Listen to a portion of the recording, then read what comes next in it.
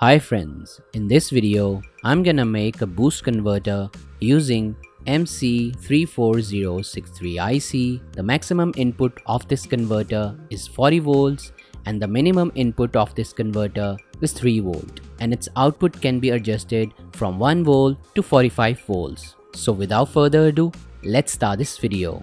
If you haven't subscribed to my channel, then do subscribe and don't forget to press the bell icon so you can get notifications whenever I upload a new video. These are my other channels, do subscribe them as well. And you can also follow me on Facebook and Instagram. Component list, circuit diagram, everything is in the description below.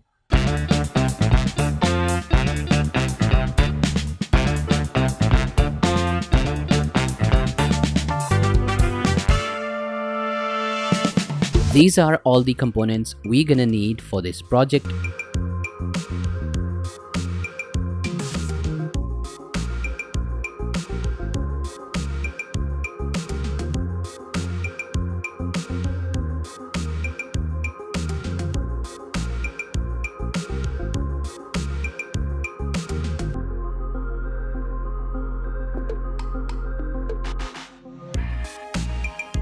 First, I'm gonna connect MC34063IC and connect its pin number 6 to positive supply and its pin number 2 and 4 to ground. After that, I'm gonna connect a 2 pin terminal block and connect its 1 pin to positive supply and its other pin to ground.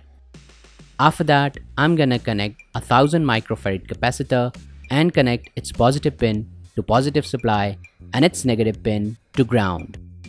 After that, I'm gonna connect a 100 nanofarad capacitor and connect its one pin to positive supply and its other pin to ground. After that, I'm gonna connect a 1 ohm resistor and connect its one pin to pin number 6 of the IC and its other pin to pin number 7 of the IC. After that, I'm gonna connect a 220 ohm resistor and connect its one pin to pin number 7 of the IC and its other pin to pin number 8 of the IC. After that, I'm gonna connect a 330 microhenry inductor and connect its one pin to pin number 7 of the IC and its other pin to pin number 1 of the IC.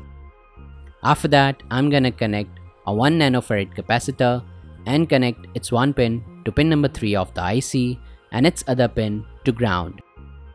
After that, I'm gonna connect a 1N5819 Schottky diode and connect its anode to pin number 1 of the IC. After that, I'm gonna connect a 1000 microfarad capacitor and connect its positive pin to cathode of the diode and its other pin to ground.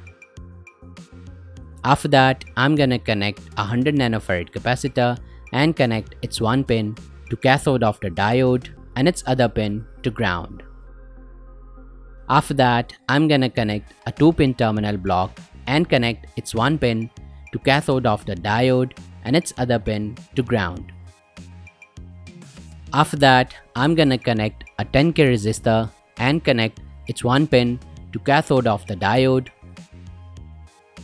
After that, I'm gonna connect a 10k trim pot and connect its one side pin to remaining pin of the 10k resistor and its center pin to pin number 5 of the IC and its other side pin to ground. So we have completed all the connections now let's test the project.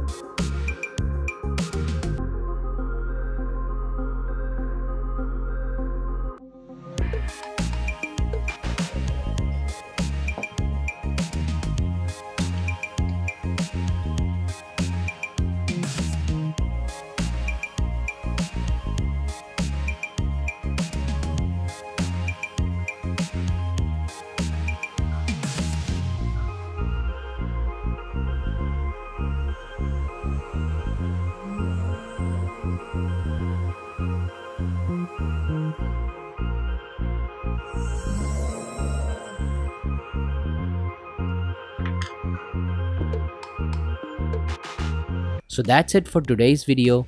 I hope you have enjoyed this video. For more videos like that, stay tuned and I will see you in the next video.